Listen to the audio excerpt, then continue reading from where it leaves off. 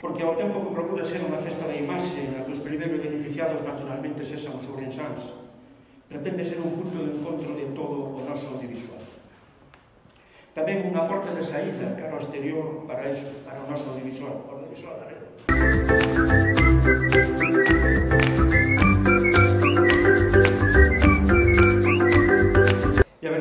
hai moi poucos proxectos culturais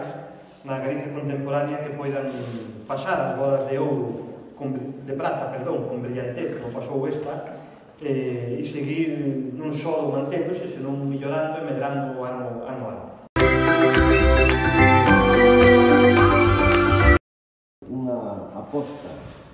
que non ten fin, que só vai a ir a máis, que na Deputación o temos claro,